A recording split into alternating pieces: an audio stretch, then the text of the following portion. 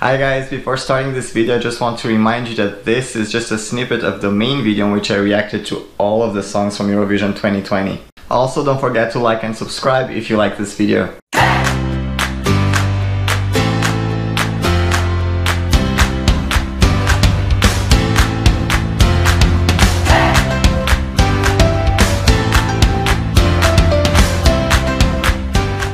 And three countries left. I wonder if Russia just came up with the song or they didn't. Okay, the next one that's missing is Italy. I've listened to this song quite a lot, so I know the Italian song.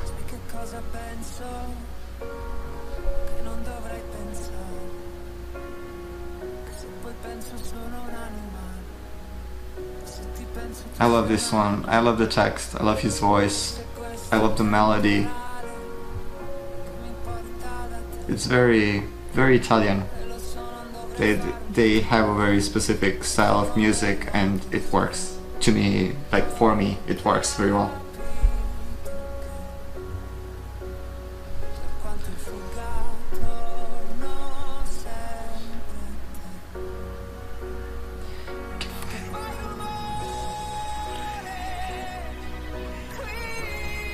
I love it.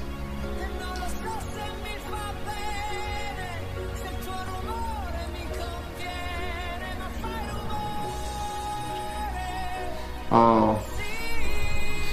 This is gonna be so hard.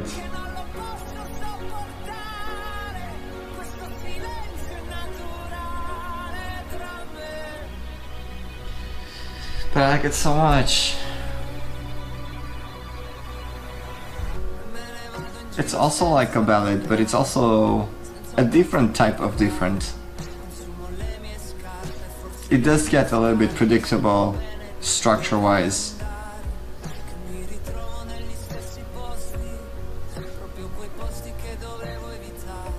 Plus I really like the way the Italian language sounds.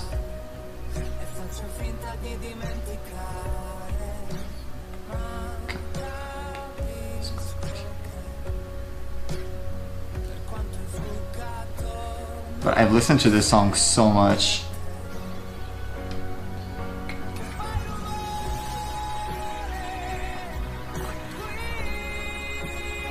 Yeah.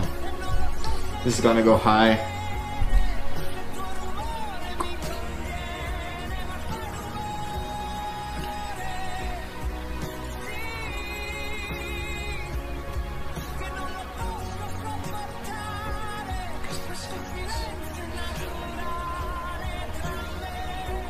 I just love it.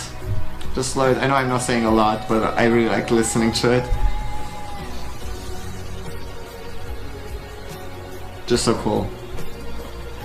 And I'm gonna have to kick out another country, which I don't really enjoy, because at this point, I think like at least the past five countries that I kicked out of the top 10 I liked.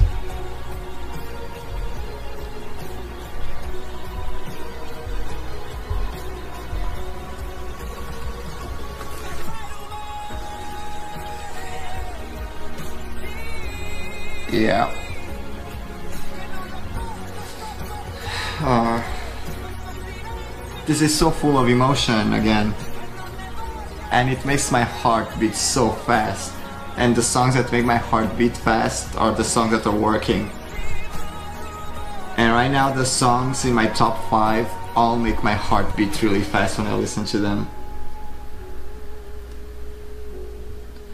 And I think this one is gonna go... Oh, this is hard. I have now a bit of a confusing one because I only heard the Bulgarian song once. On the other side, I know the Italian song because I've listened to it so many times. So I'm having issues. I think I'm to put Italy on the third place under Bulgaria ahead of Azerbaijan, which means that Denmark is getting kicked out of the top 10.